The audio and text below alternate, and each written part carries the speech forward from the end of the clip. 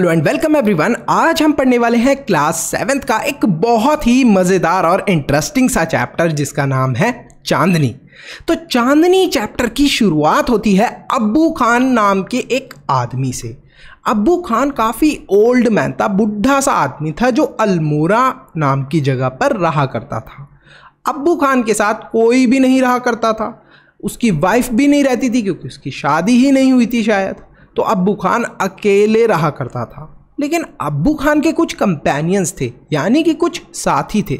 पता है कौन थे अब्बू खान के कंपेनियंस वो थी बहुत सारी गोट्स अच्छा अब्बू खान की कंपेनियन गोट्स कैसे हुई? देखो, अब्बू खान जो था ना वो गोट्स को एज अ पेट की तरह पाला करता था। लोग तो कैट और डॉग को पालते हैं पेट की तरह, पालतू जानवर की तरह, लेकिन अब्बू खान गोट्स को पाला करते थे पेट की तरह। अब्बू खान ने अपनी गोट्स का नाम भी बहुत फ़नी फ़नी रखा था। मतलब ऐसा नाम जिसे सुनते ही आपको हँसी आ जाए। अब्बू खान दोपहर के समय अपनी सारी गोट्स को बाहर लेके जाया करते थे और उन्हें घास खिलवाया करते थे। ग्रेज ग्रेज मतलब घास खिलवाते थे उन्हें। जो अब्बू खान थे, वो इन गोट्स से इस तरीके से बात करते थे जैसे कोई इंसान एक बच्चे से करता है। अबू खान रात के समय गोट्स के गले में रस्सी बाँध दिया करते थे, जिससे वो इधर उधर कहीं ना चले जाए। रस्सी से बाँध कर गोट्स को रात के समय रखा करते थे। लेकिन अबू खान बहुत ज़्यादा अनलक्की थे। अब अनलक्की कैसे थे? एक एक करके जो भी उनकी गोट्स थी, वो उस रस्सी को तोड़कर अपने आप को आज़ाद कर लेती थी। मतलब जिन गोट्स को वो बाँध के सोते थे रात को, वो गोट्स क्या करती थी, उस रस्सी को किसी ना किसी तरीके से तोड़ लेती थी और वहाँ से आज़ाद हो जाती थी। अब ये गोट्स आज़ाद होने के बाद जाती कहाँ थी? देखो, अब्बू खान जहाँ पर अपनी गोट्स के साथ रहा करते थे, वहीं पर, नज़दीक में ही एक माउंटेन था। तो ये जितनी भी गोट्स थी, वो पास वाले माउंटेन यानी कि हिल पर चली जाती थी। गोट्स को आज़ादी बहुत पसंद थी, इसलिए वो बार बार अपनी रस्सी तोड़कर चली जाती थी। लेकिन जब वो माउंटेन के ऊपर जाती थी तो वहाँ पर उनके साथ पता है क्या होता था? उस माउंटेन के ऊपर रहता था एक खतरनाक सा वुल्फ, और वो उन गोट्स को खा जाया करता था। तो जितनी भी गोट्स अपने आप को आज़ाद करके माउंटेन के ऊपर पहुँचती थी, उन्हें ये वुल्फ खा जाता था। अब्बू जो था, वो बहुत ज़्यादा सैड हो जाता था, जब भी वो देखता था कि उसकी गोट उसे छोड़कर चली गई। अब्बू काफ़ी ज़्यादा कंफ्यूज भी था। अब पता है कंफ्यूज क्यों था अब्बू खान इतना ज़्यादा? अब्बू खान कंफ्यूज इसलिए था क्योंकि अब्बू खान को लगता था कि मैं तो यहाँ पर इन गोट्स को अच्छा अच्छा खाना खिला रहा हूँ, ठीक है? और इतने अच्छे से इनका ध्यान रख रहा हूँ। लेकिन फिर भी ये पता नहीं क्यों आज़ाद होकर उस हिल पर चली जाती हैं, उस पहाड़ पे चली जाती हैं और वहाँ पर उनको वो वुल्फ खा जाता है। तो एक तरीके से वो मौत के मुँह में अपना कदम रख देती थी गोट्स बार बार। किस वजह से? सिर्फ़ और सिर्फ़ आज़ाद होने की वजह से, फ्रीडम की वजह से। अबू खान की जब एक एक करके सारी गोट्स ख़त्म हो जाती हैं मतलब चली जाती हैं तो अब्बू खान डिसाइड करता है कि अब से मैं कोई भी पेट नहीं रखूँगा। मतलब कि गोट को एज अ पेट अब मैं नहीं रखूँगा और गोट्स को नहीं खरीदूँगा। ये कोई ऐड नहीं है। आपको एक बहुत ही इंपॉर्टेंट इन्फॉर्मेशन देनी है। एजुकेशन को इजी और अफोर्डेबल बनाने के लिए हमने एक इंपॉर्टेंट स्टेप लिया है। आपके लिए हमने रेडी करा है स्पेशल कंटेंट जो आपके एग्ज़ाम में बहुत हेल्प करेगा। इसमें आपको मिलेंगे चैप्टर वाइज टेस्ट पेपर हर चैप्टर के नोट्स साथ में कंबाइंड टेस्ट पेपर्स और प्रायोरिटी डाउट क्लियरिंग इसके साथ साथ और भी बहुत सारे बेनिफिट्स आपको मिलने वाले हैं। सिर्फ़ और सिर्फ़ 299 के मेंबरशिप प्राइस में। सब्सक्राइब के साथ में ज्वाइन के बटन पर क्लिक करके आपको ये मेंबरशिप परचेज करनी है। ये प्राइस लिमिटेड टाइम के लिए है। अरे वाह भैया! इतने कम प्राइस में इतनी सारी चीज़ें। मैं तो अभी मेंबर बन जाता हूँ। अबू खान को कुछ समय बाद बहुत अकेलापन महसूस होता है। तो वो डिसाइड करता है कि यार चलो एक गोट को मैं खरीद ही लेता हूँ। तो अबू खान एक यंग गोट को खरीद के लाते हैं, ठीक है?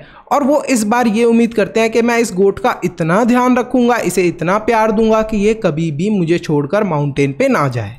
अबू खान की जो ये नई गोट होती है पता है, ये बहुत ज़्यादा फ्रेंडली होती है मतलब बहुत ज़्यादा अच्छा इसका व्यवहार होता है अब्बू खान के साथ, ठीक है? और अब्बू खान इसका नाम रख देते हैं चांदनी। तो अब आपको समझ में आया होगा, ऐसे ही उन्होंने अपनी जो बाकी की गोट्स थी, उनका नाम अजीब अजीब सा रखा था। देखा, गोट का नाम चांदनी कौन रखता है? तो वो अपनी गोट का नाम चांदनी रख देते हैं। और जो ये गोट थी ना, उसका वो बहुत ध्यान रखा करते थे, अपने फ्रेंड्स की सारी स्टोरी सुनाया करते थे गोट को।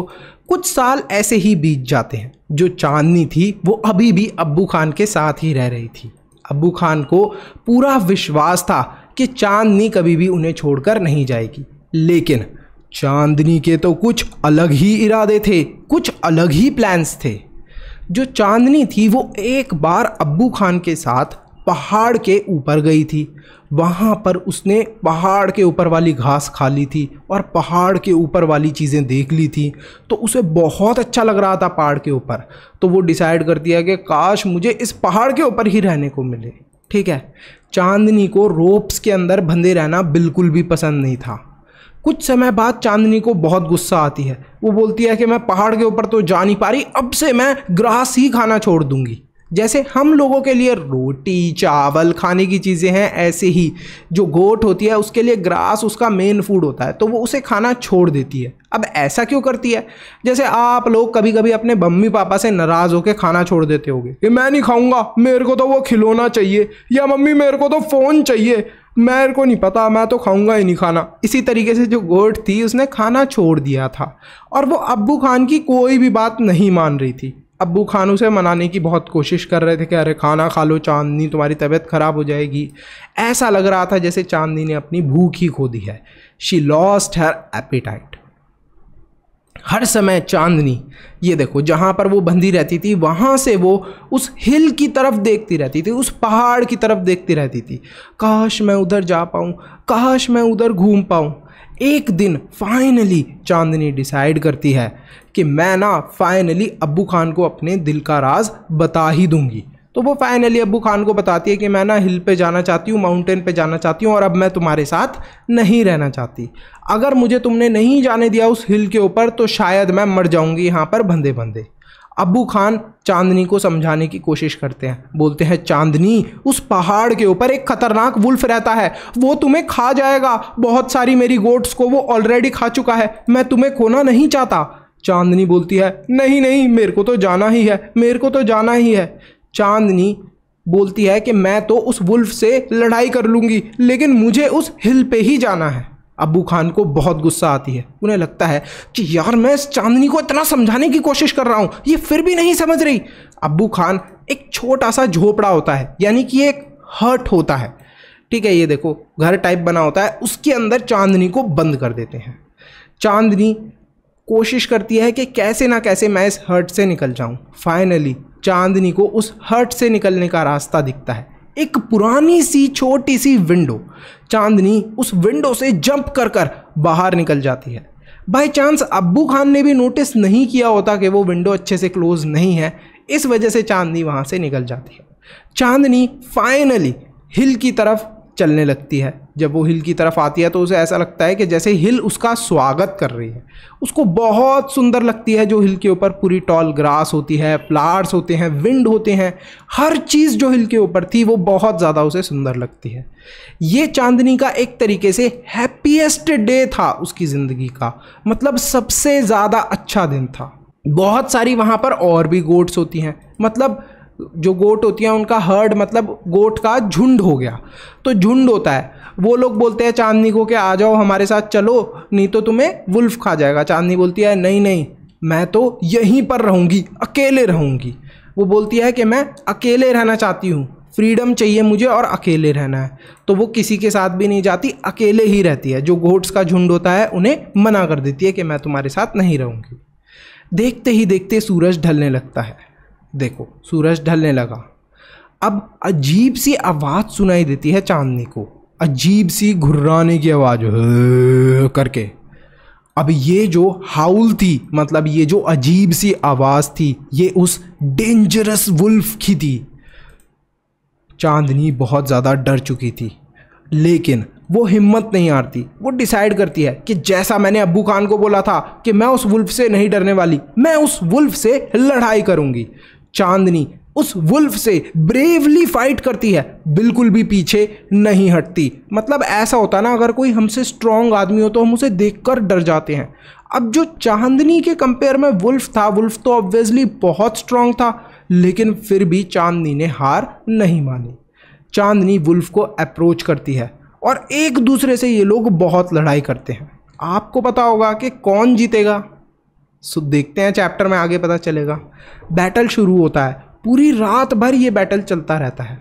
जब सुबह का समय होता है मतलब जब सूरज उगना शुरू होता है सनराइज होता है तो देखने को मिलता है कि ज़मीन पर खून ही खून है। ये जो खून था, ये चांदनी का था। चांदनी को वुल्फ खा चुका था। कुछ बर्ड्स थी, जिन्होंने पूरी रात भर पेड़ पे बैठे बैठे ये फाइट देखी थी। वो बर्ड्स डिस्कस कर रही थी। अरे यार, कितनी खतरनाक लड़ाई हुई। हमें तो लगता है भाई, वो जो वुल्फ है, बहुत स्ट्रांग है। वही जीत गया फाइट को तो। फालतू में चांदनी उससे लड़ने के लिए आई थी। तभी अचानक से एक ओल्ड बर्ड होती है, जो कि काफ़ी ज़्यादा वाइज होती है। वाइज मतलब समझदार होती है। वो बोलती है, नहीं नहीं, पता है असली विनर कौन है? असली विनर तो चांदनी है। उसने हिम्मत नहीं हारी और पूरा मुकाबला करा वुल्फ से, जबकि वुल्फ उससे बहुत गुना ताकतवर था। तो यहाँ पर हमारा चैप्टर हो जाता है फिनिश इस चैप्टर का मॉरल क्या है? मतलब हमें मुश्किल चीज़ों से मुँह नहीं मोड़ना चाहिए। मुश्किल चीज़ों से हार नहीं माननी चाहिए। जैसे बहुत सारे बच्चे होंगे जिनका टेस्ट होगा या एग्ज़ाम होगा। तो कुछ बच्चे सोच रहे होंगे, अरे यार, एग्ज़ाम में नहीं जाऊँगा। मम्मी को बोल दूँगा, पेट में दर्द हो रहा है, बुखार आ रहा है तो शायद छुट्टी मिल जाए। लेकिन हमें कभी भी ऐसे मुश्किल से हार नहीं माननी चाहिए। हमें उल्टा एग्ज़ाम में जाना चाहिए, अच्छे से तैयारी करके और शायद हमारे मार्क्स उतने अच्छे ना आए बट हम लोग चांदनी की तरह ब्रेव कहलाएँगे बाद में। तो ये जो चैप्टर है, ये यहीं पे ख़त्म होता है। इस चैप्टर के ऑथर हैं जाकिर हुसैन खान। आपके लिए होमवर्क का एक क्वेश्चन है that is what Miss Fortune came to Chandni after sunset जब सूरज ढलने लगा था, उसके बाद क्या बुरा हुआ चांदनी के साथ? कमेंट सेक्शन में कमेंट करना। अगर आपको इस चैप्टर के नोट्स चाहिए या सैंपल पेपर चाहिए। अब बच्चों देखो नोट्स तो आपने चैप्टर अच्छे से समझ लिया। बिना नोट्स के तो काम चल भी जाएगा बट सैंपल पेपर बहुत इंपॉर्टेंट है आपके लिए सॉल्व करना। सैंपल पेपर के अंदर वो सारे इंपॉर्टेंट क्वेश्चंस होते हैं जो आपके एग्ज़ाम में आते हैं। आप बड़ी क्लास में आ गए हो। बुक के पीछे के क्वेश्चंस तो अब आएँगे नहीं। चैप्टर के बीच से आते हैं क्वेश्चन तो ये जो क्वेश्चंस चैप्टर के बीच से आते हैं, ये क्वेश्चंस कहाँ से आएँगे, कौन से आएँगे, किस टाइप के होंगे, ये आपको सारे सैंपल पेपर में मिल जाएँगे। अगर आपने सैंपल पेपर अच्छे से प्रैक्टिस कर लिया तो एग्ज़ाम में फुल मार्क्स आना तय हैं। तो आपको इस चैप्टर के नोट्स और सैंपल पेपर मिल जाएँगे बट कैसे मिलेंगे? सब्सक्राइब करना है, उसके साथ में ज्वाइन का बटन है, उस पर क्लिक करके मेंबरशिप परचेज करनी है। अभी आप लोगों के लिए स्पेशल बहुत ज़्यादा डिस्काउंट चल रहा है मेंबरशिप पे ऑलमोस्ट समझो 50 परसेंट डिस्काउंट चल रहा है आप लोगों के लिए। तो अभी के अभी आप मेंबर बन जाओ और इसके साथ आपको एक और इंटरेस्टिंग चीज़ मिलेगी। ये जो पूरी बुक है, इस पूरी बुक के सारे चैप्टर के नोट्स और सैंपल पेपर जो आपकी इंग्लिश की दूसरी वाली बुक है, उसके सारे नोट्स और सैंपल पेपर साथ ही में आपको साइंस के सारे नोट्स और सैंपल पेपर एसएसटी की जो तीनों बुक हैं हिस्ट्री सिविक्स जियो इन तीनों के सैंपल पेपर और नोट्स तो इतनी सारी चीज़ें एक मेंबरशिप के प्राइस में जो कि अभी 50 परसेंट डिस्काउंट पर है। तो फटाफट आप मेंबर ज़रूर बनो, फिर आपके लिए मेंबरशिप का प्राइस सेम ही रहेगा और ये सारे नोट्स और सैंपल पेपर को सॉल्व करके एग्ज़ाम में फुल मार्क्स लाओ। See in the next video bye bye till then